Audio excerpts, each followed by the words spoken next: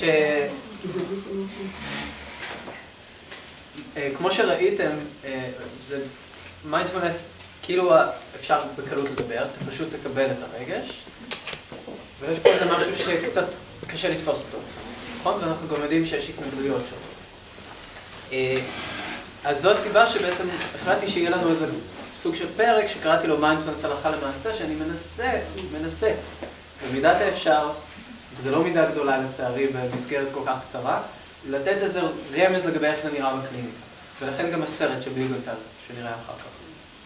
אמ, כי טוד מראה לנו איך עושים חשיפה, והוא מראה לנו איזשהו משהו שהוא סביב אה, לתת לרגש לעבור, אבל אני חושב שאת הרעיון של אקספטנס של רגש הוא לא כל כך מעביר לנו כמו שצריך. זה נורא שמים ממנו שם אישור, ולזה הוא כן היה יכול לתת לה אישור, לזה שזה נורמלי להרגיש. נכון, הוא היה יכול לעשות נורמליזציה. למה זה חלק מטקסים של ה-OCD אבל, אפשר לראות. את זה.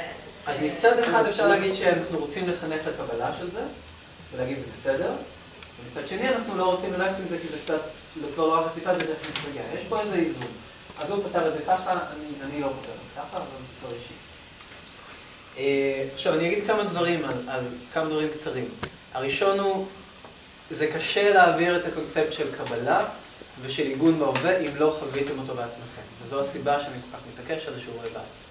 עכשיו זה מספיק לעשות אותם אפילו שלושה שבועות בשביל לקבל את הטעם הראשוני. אבל אם לא תעשו את השלושה שבועות האלה, יהיה לכם קשה לצאת מהקורס הזה עם, עם מושג של זה. אז זה, אין לי, אין לי מנוס בזה. באופן כללי בחוגים של מיינדפולנס, באיזושהי נקודה של שיחה אומרים, מספיק דיבורים, בואו נעשה מדיטציה, אוקיי? וזה משפט שאתם מוזמנים להגיד למטופל.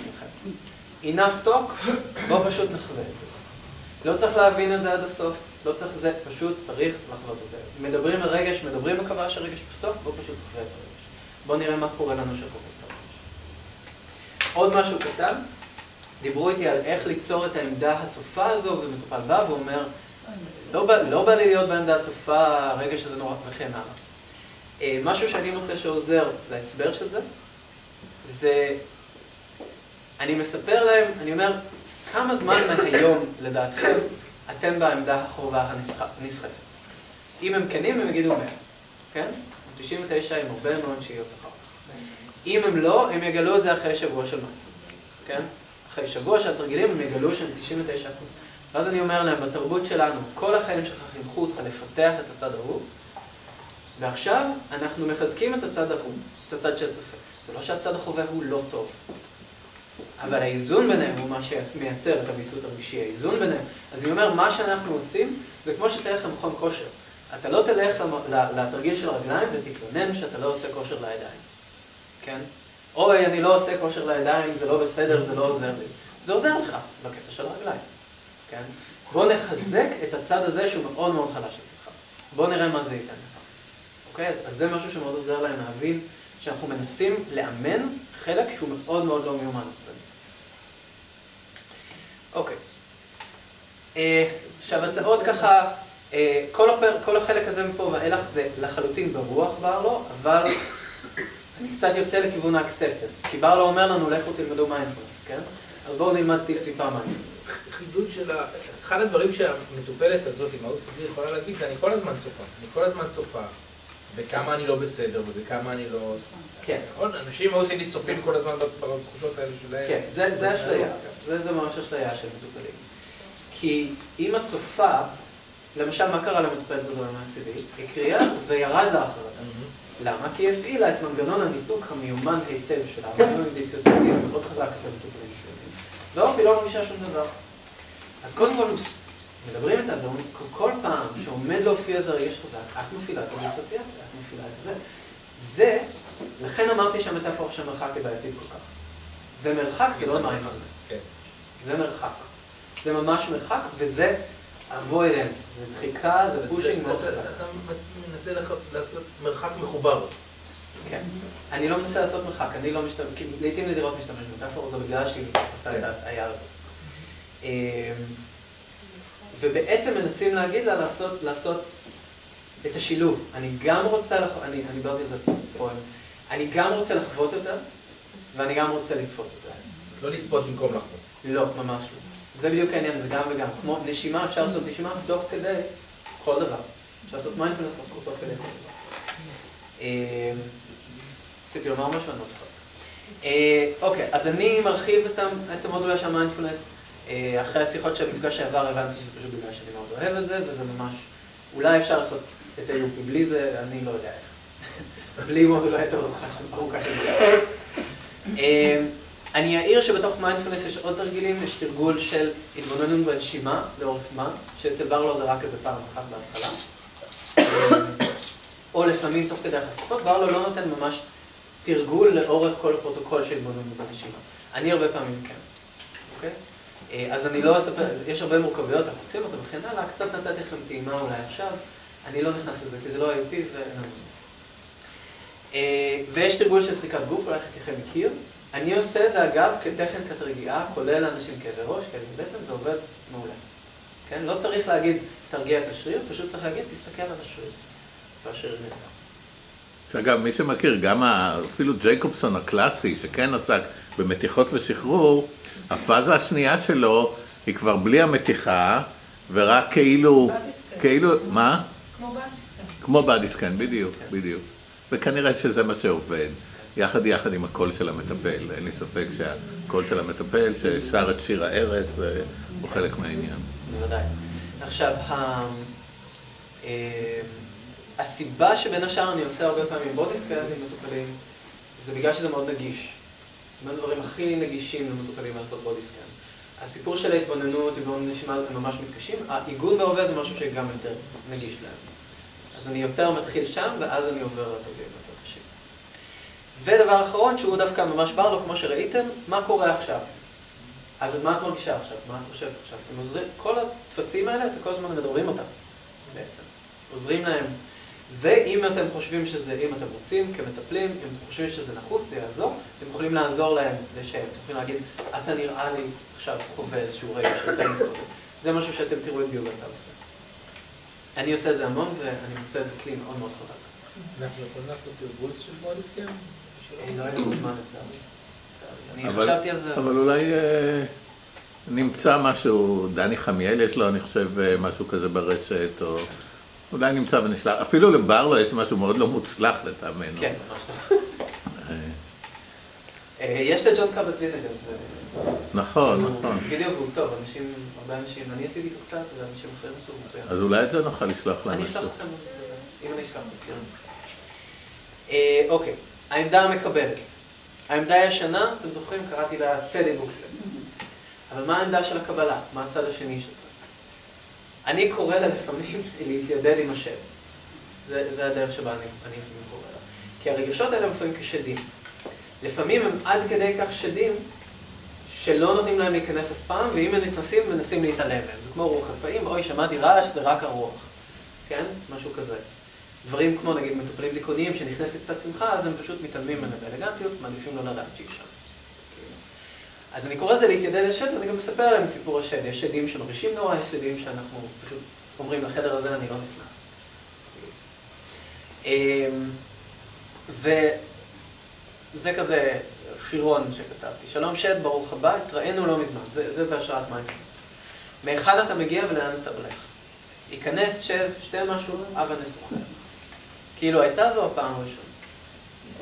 עכשיו, השיר הזה, בתוכו, השתדלתי לשזור את העקרונות הבסיסיים.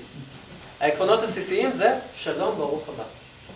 אקספטנס, דבר ראשון. הגיע, אל תיתנו לו רק לדפוק על הדלת ולנסות להוריד את הבית, תפתחו את הדלת. כן? תנו לו להיכנס. הגיע, כבר הוא כבר... הרי מה, אם לא תיתנו לו להיכנס, הוא יחזור, הוא ייכנס מהחלון, הוא ישבור לכם את הדלת. יש את האורח ה... כן, כן, כן, הדימוי של האורח הוא דימוי מאוד נפוץ. מהיכן אתה מגיע ולאן אתה הולך, זה הסיפור הזה של מה היה השנייה לפני ושנייה אחרי, מה הרצף, לראות את התבניות האלה. כן?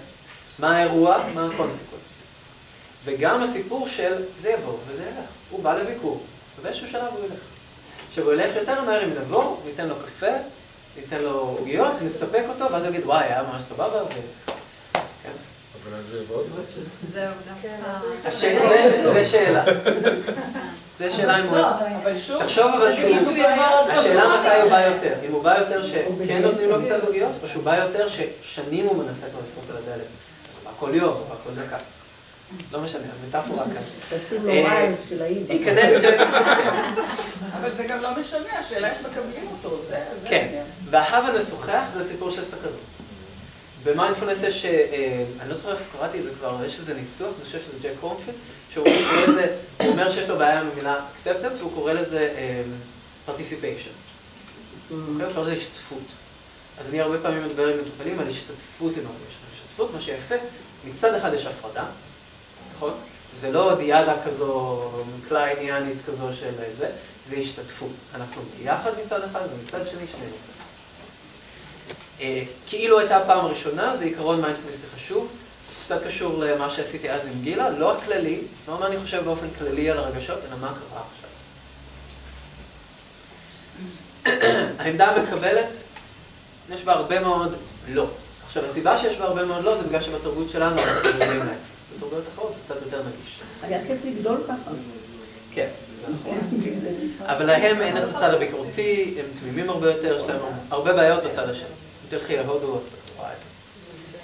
אה, ללא שיפוט, ללא פירוש, אה, גם ללא הבנה, אוקיי? לא צריך. שמטופלים שיש להם התנהגות avoidance כללית, אחד מסוגי ההתנהגות avoidance היותר עדינים זה לנסות להבין משהו. וזה avoidance. זה לא נראה כמו avoidance, אלא אם שמים לב כמה זמן הם מבלים בזה, ואז מבינים שזה avoidance. כי בפני עצמו זה לא avoidance. סבבה, תחשבו על זה, תנתחו, אין בעיה, no problem. אבל קודם כל זה לא מה שעושים אותו. מיינדפולנס, מיינדפולנס מתרכזים בחוויה כמו שהיא. דבר שני, תשימו לב כמה אתם עושים את זה, על מה זה עוזר לכם לא לחשוב, ואז ברור. כלומר, נגיד הקוגניציה לוקחת את ה... במקום שאני ארגיש את הרגש, אני פשוט חושב כל הזמן, מה זה, מה זה, מה זה, זה מעניין, זה מעניין, זה מעניין. אה, ספקות. הרבה אנשים התנהגות avoidance אומרים, איך אני יודע שאני מרגיש עצב? פה הדרך היחידה שאני מכיר כמטפל, זה א', לשקף להם איך זה לחיות עם ספקות מתמידים לגבי איך שהם מרגישים, וב', להגיד להם, אנחנו מנסים להתאמן בלהאמין שמה שאתה מרגיש זה באמת מה שאתה מרגיש. זה מה שאנחנו מתאמנים עכשיו. נקודה שהיא קשה, קשה למטופלים, וחוץ מקצת לדבר על זה, אני לא מכיר דרך לפרום את זה בקלות, אני לא מצאתי. מיקוד בחוויה הראשונית, יש attention גם לשניונית, אבל מנסים לא להשתכנע בה, לא להיסחף איתה יותר מדי, כי שניונית זו מילה מאוד יפה ל-3,500 מחשבות אחר כך, כן? כי בפועל זה מה שקורה להם. אז הרעיון הוא לנסות להביא את זה ל-1,000, ואז ל-500, ואז לשניונית, ואז להתחיל לראות הקשרים. כאילו, להתחיל להיות יכול לראות את הרצף. צריך להיזהר לא להתעסק עם זה יותר מדי ולהיכנס לניתוחים, כי הופ, אנחנו כבר לא במיינדפלס. תיוג של החוויה זה טכניקה אה, חשובה של מיינדפלנס, זה לא ברלו, שאומרת, זו הייתה מחשבה לעתיד, זו הייתה מחשבה לעבר, זו הייתה שיחה דמיונית, זה היה זיכרון, זה היה זיכרון משמח, זה היה תכנון, זה היה דמיון. תיוג של הצורה, לא של התוכן. ולמה זה חשוב? זה חשוב כי זה מאוד עוזר להתנתק. כי כשאת חושבת איזה מתכננת, עושה איזה רשימת מכולת, ואז פתאום אומרת, אה, זו מחשבה על העתיד, באותו רגע, ואז את אומרת לעצמך, אני לא רוצה לחיות כל החיים שלי בעתיד, רוצה לחיות קצת נחשב. באותו רגע הרבה יותר קל להשמיט את המחשבה, כי אחרת היא נראית נורא חשובה. נכון שאני במדיטציה, אבל זה נורא חשוב שאני אעשה עכשיו את הרשימה. אבל, הרעיון הזה לא יחזור, ואני אשכח את זה אחר כך? אבל אני לא רוצה לחיות את כל החיים שלי בעתיד, זו אמירה שיפוטית. אבל באמת, אה, זו מחשבה על העתיד ואני חוזר להתמקד בעוגן. כן, זה מה אם זה מחשבה שיפוטית. אני לא רוצה, זה לא מחשבה שיפוטית. אני לא רוצה, זה הבעת רצון. למה אני לא רוצה, זה שאלה אחרת. להגיד, זה יעשה לי טוב, זה לא מחשבה שיפוטית, זה עוד דבר ישן. אני לא צריך. יכול להיות שאתה טועה. יש פה את ה... זה כבר באמת לא החוויה הראשונית, כי יש פה פירוש מתקדם אפילו. אז זה לא יעשה לי טוב, אולי אני טועה. אבל זה כבר לא...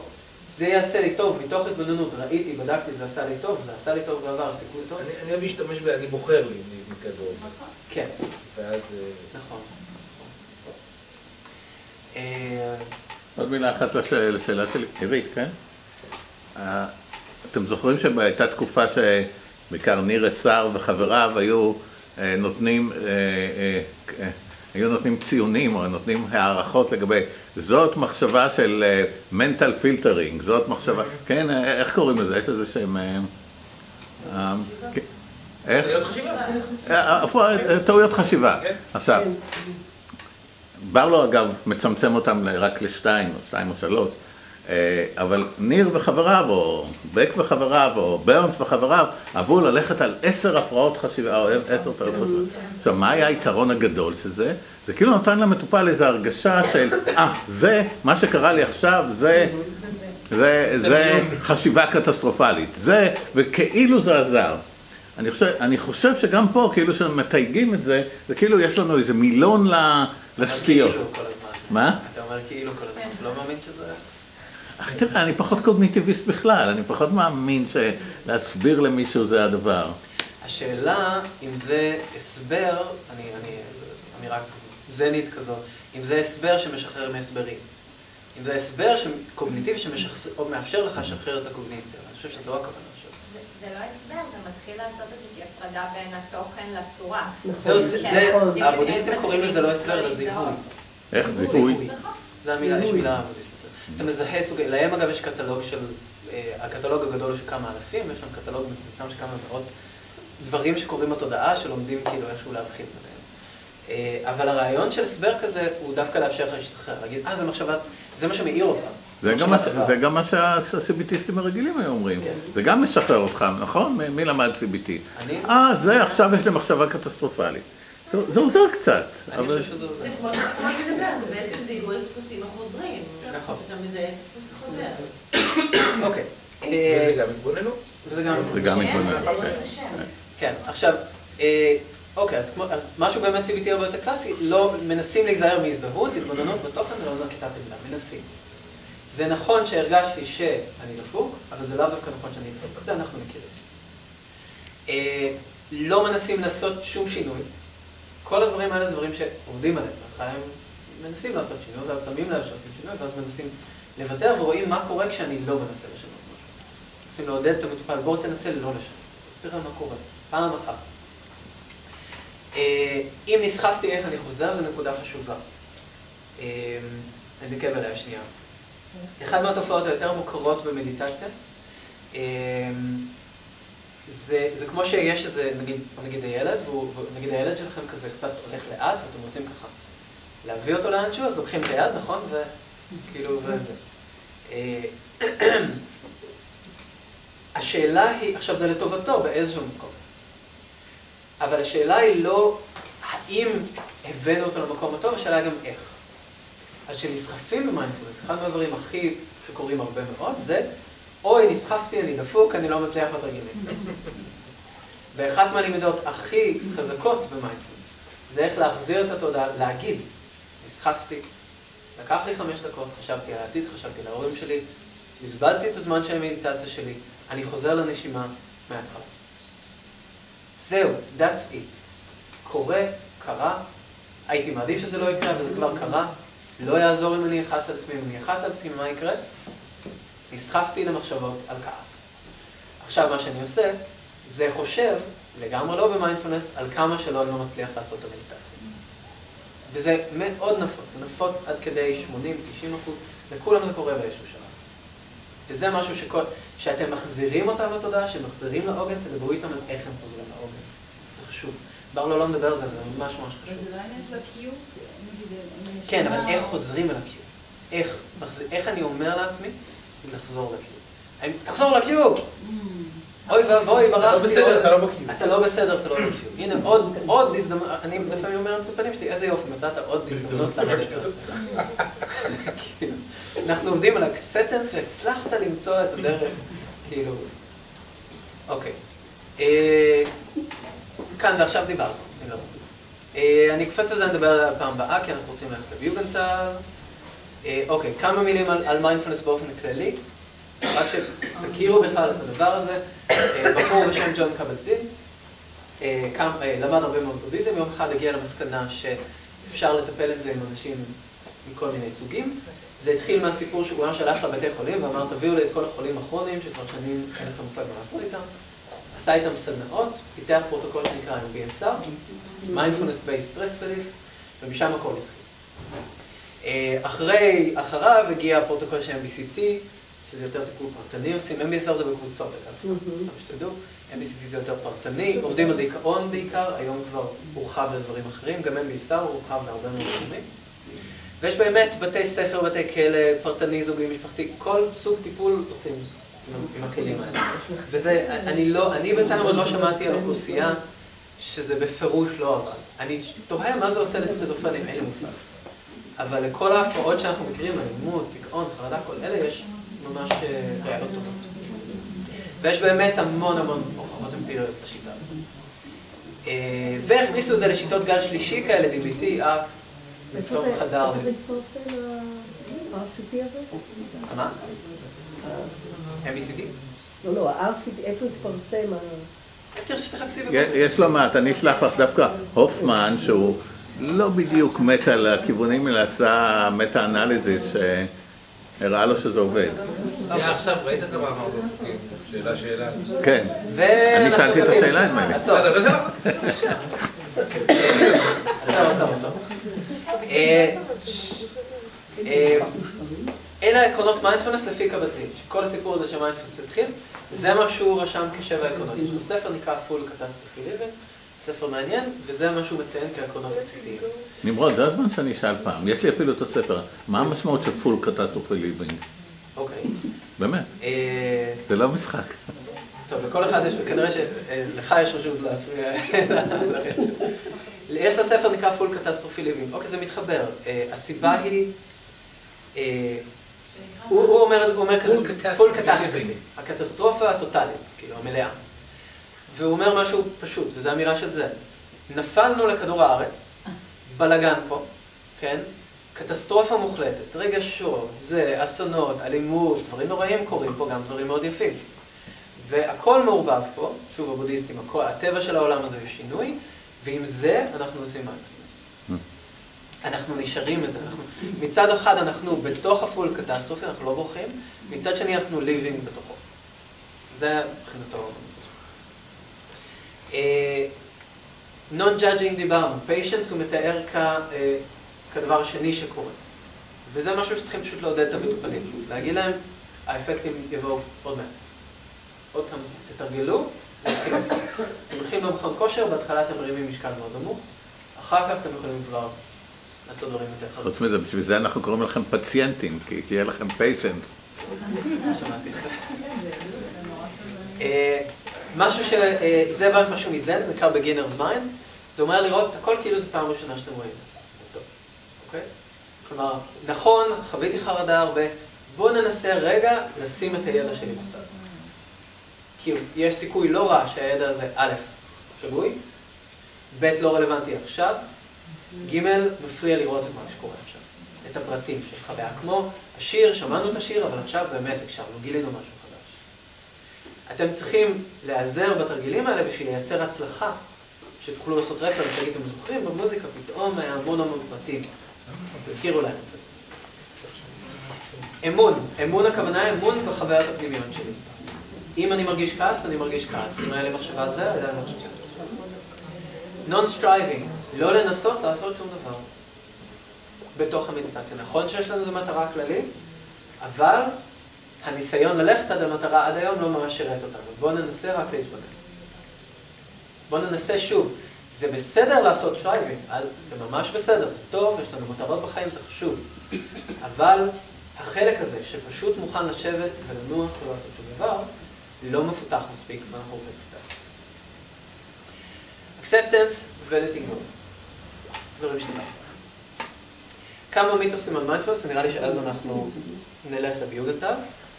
אה, אתה יכול לעשות רגע הבחנה מבדלת בין non-striving, acceptance go? אה, אני יכול לנסות בקצרה. letting go אומר שהופיע מחשבה, אתה אומר הופיע מחשבה, ואתה מוכן לעזוב אותה. זה letting go. acceptance אומר שהגיעה מחשבה ואתה בכלל מוכן לתת לה להיכנס, ואתה לא אומר זו מחשבה נוראית, אני לא רוצה לקרוא אותה וכן הלאה. מה היה עוד אחד ש... ו-non-striving. Non-striving אומר, אמ, אני לא מנסה להשיג שום דבר במדיטציה. התרגול הזה, כל המטרה שלו זה התבוננות. אני רואה את מה שכבר קורה. זהו. אז למה סבלנות אם כי בשביל לעשות non-striving צריך המון המון לא, אתה אומר, סבלנות, משהו יקרה. מה שיקרה, אבל זה לא משהו שאני עשיתי, זה משהו שקרה. וגם מול השיפוטיות. כן, זה judgment. לא, גם אני בונה... כן, גם על השיפוטיות אני אתבונן, נכון. במיינדפולנס, מיתוס אחד מאוד נפוץ ברמות של מלמדים את זה בקורסים, אה, זה שמדיטציה זה תרגיל רגיעה. אז קודם כל מדיטציה באופן כללי זה לא תרגיל רגיעה, ומיינדפולנס ספציפי זה ממש לא תרגיל רגיעה. יש לזה את האפקט של רגיעה, לעיתים מאוד קרובות. אני אישית, רוב הזמן זה מרגיע אותי מאוד, כן?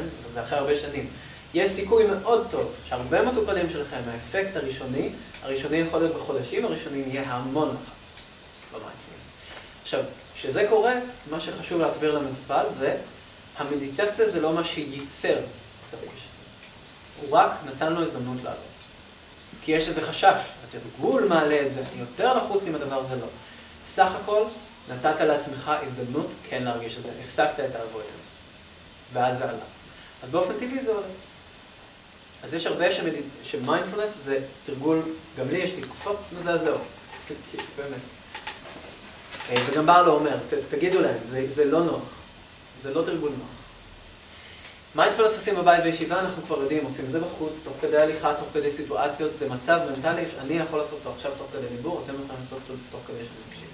בדרך כלל אם אני אציע לכם עכשיו, תעשו שנייה קשיבות, זה כבר קצת קרה לכם, נכון? מצאתי את זה ומישהו זה טיפה קרה? אוקיי. האפקט הזה, זה מה שאתם עושים למטופלים. אתם אומרים לו, תהיה רגע בקשיבות. ואו קרה משהו, לפעמים זה קטן, אבל זה כבר משהו. אה, למיינדפולנס אין מטרה, זה לא נכון. באופן כללי המטרה שלנו היא לעשות סטרס ריליף, אבל בתוך התרגול אין מטרה.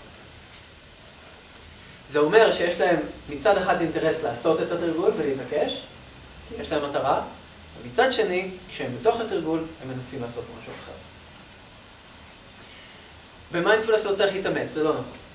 כן? צריך להתאמץ, אבל יש סוג אחד ויחיד של מאמץ. לחזור לאוהל. או לזה. זה המאמץ היחיד. כל שאר המאמצים הם כבר לא מיינדפולנס. וזה לפעמים דורש ממש איסוף כזה של אנרגיה. אני לא, לא נכנס למחשבה הזו, לא באלימות, אבל אני לא רוצה, אני לא רוצה להיסחף איתה, אני חוזר לאוהל. יש את הדבר הזה שחושבים שכשעושים מדיטציה אז יש איזה שקט בראש, ממש לא נכון. אם יש שקט בראש רוב הסיכויים שאתם באבוידנס, או שאתם מרגילים המון המון המון שקט. או שאתם בוויפאסנה ואיפשהו ביום רביעי, תמיד קורה איזה משהו, גם רוצה. מיינדפולנס זה לעצור. במובן מסוים זה נכון, יש פה אלמנט של עצירה, אבל שוב, הרעיון הוא שזה חי. אנחנו לא עוצרים את הנשימה, אנחנו לא משנים שום דבר. אם אנחנו רוצים לעצור את ההתנהגות, לשבת כי זה עוזר לנו להתבוננות, סבבה, אבל זה לא המטרה. מיינדפולנס זה חשיבה, ריכוז, דמיון מודרך, כל אלה לא נכונים, מיינדפולנס זה פשוט noticing. פשוט לשים לב, זה, זה, זה מה שאתם שמים לב, שמים לב, שמים לב, שמים לב, שמים לב. זה דברים שדיברנו עליהם, דיברנו, דיברנו, ויש את הסיפור של מדיטציה, זה תרגיל רוחני. תספרו להם את הסיפור שבא מישהו בשם קבלת זיל וקילף לגמרי את הבודהיזם, ותסבירו להם שמה שאנחנו עושים פה זה משהו שהוכח שיש נוירונים שקשורים לדבר הזה, שיש מרכזים במוח. ספרו להם את הסיפור המערבי של מדיטציה לאנשים שיש להם בעיה מצד רוחני, זה עובד, יופי. אוקיי. כמה אמיתות המיינדפולנס? איך אפשר, לדעת אם זה avoidance כשיש שקט בראש, או אם זה באמת... שאלה טובה. אני, אני, תשאלי אותי אחר כך. אוקיי. אני יודע לזהות את זה כי אני יודע מה לשאול, אני לא יודע אם יש לי כלל. אני אענה על זה עכשיו אחר כך, אני אחשוב תשובה. מיינדפולנס זה סט של פרקטיקות. בר לא כזכור לקח רק חלק מאוד קטן מהן. מיינדפולנס זה מצב מנטלי. ויש את הלדעת שדיברתי עליו, והכאן ועכשיו. זה המהות של מיינדפולנס, זה ארבע הדברים האלה. מיינדפולנס דורש מאמץ והתמדה, זה תרגול מתסכל. זה, זה, לא רק שזה לא בעיה, זה טוב, כי מתוך התסכול האלה עולים המון תבניות של התמודדות עם קושי. והרבה פעמים העבודה העיקרית שלי זה כאילו מתוך הקושי עם המדיטציה עולה הקושי בחיים, זה מאוד נפוץ. ועקב התרגול קורים כל מיני דברים, יש רגיעה, יש תובנות, אני שם לב לתבניות, יחסים משתפרים, התנהגות משתנה כי פתאום אני מתחיל לשים לב לדברים, כל מיני דברים שקורים. לראות, לראות, כן. מרשה לי משהו קטן לגבי מיינדפולנס זה בעצם להיות ברגע הזה. כן. המשמעות היא באמת להיות ברגע הזה, מאחר והרבה חרדות הן what if, כן. כל מיני מתי שהוא, מה שיכול להיות. ומאחר ורוב מציאות חיינו אנחנו על טייס אוטומטי, כי אנחנו עושים המון דברים, ואנחנו לא ממש חווים את הרגע הזה. והחרדות, מה שהיה, על מה שיהיה, והחרטות או הזיכרונות ממה שהיה, בעצם הם משכנים לנו את החיים עצמם, כי החיים עצמם בדיוק הרגע הזה. ולכן כל הזמן יש, יש דיבור כזה של תהיה ברגע הזה, כי הרגע הזה הוא ברגע, מה אתה מרגיש, מה אתה חווה. מדברים על החושים לא פעם, ולמשל, לשים לב לקולות שעולים מבחוץ. עכשיו, קולות שעולים מבחוץ... עשו את זה במקרה שעבר. זה בדיוק מה שעשינו. הם לא טובים או לא טובים, בסדר או לא בסדר. לכן העניין הזה של... עכשיו, יש כמה ביטויים... חיילה, אבל אנחנו חייבים לרוץ, אז תקצרי. אוקיי. פשוט כמה ביטויים שהיא משתמשת. זה פשוט היה בשיעור שעבר. פשוט היה בשיעור שעבר. אוקיי, אז אנחנו עכשיו, את מה שלא השלמנו אני אשלים בפעם הבאה.